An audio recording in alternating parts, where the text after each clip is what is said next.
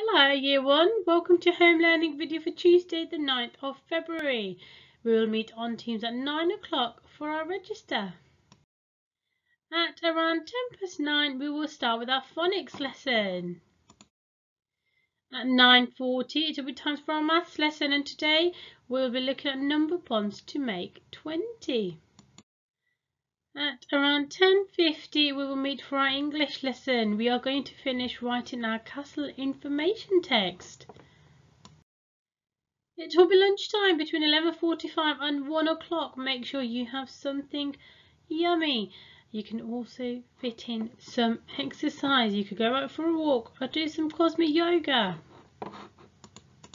At one o'clock it will be time for some reading. We won't come back onto Teams, but we want you to use this time to read a storybook or a magazine. It's totally up to you.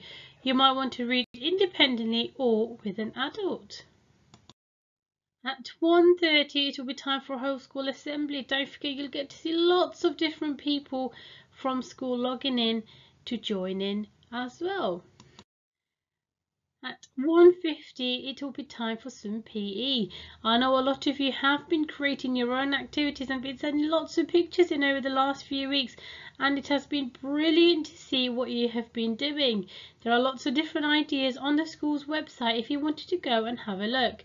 Don't forget to send us more pictures as we're always looking forward to seeing them. We'll meet on Teams at 2.45 for story time. Thank you, Year 1. Bye.